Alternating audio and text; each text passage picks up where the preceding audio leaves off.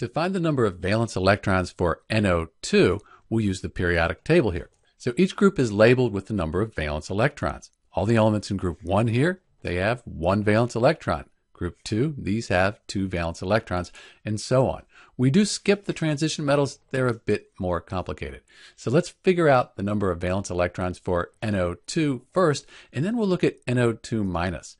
So for NO2, we have nitrogen, that is in group 15, sometimes called 5A. It has five valence electrons. Oxygen right next to it, that's in group 16, sometimes called 6A. That has six valence electrons. We have two oxygen atoms. We multiply that by two. We get a total of 5 plus 12. 17 valence electrons for NO2, which is kind of strange. We don't often get odd numbers of valence electrons, but this is the correct number for NO2. If we were writing the Lewis structure for NO2, we would distribute these valence electrons around the nitrogen and the oxygen atoms the best we could. If you need help with the NO2 Lewis structure, there's a link in the description. But what if you have NO2 minus? That kind of changes things. NO2 minus is the nitrite ion, and it's very different than this nitrogen dioxide.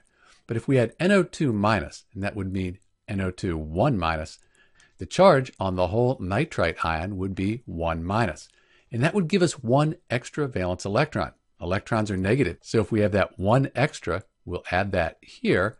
So instead of 17, we get 18 total valence electrons for NO2 minus.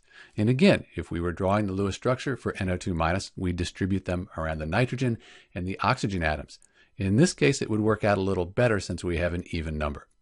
If you need help writing this Lewis structure for NO2 minus, that's also listed in the description of this video.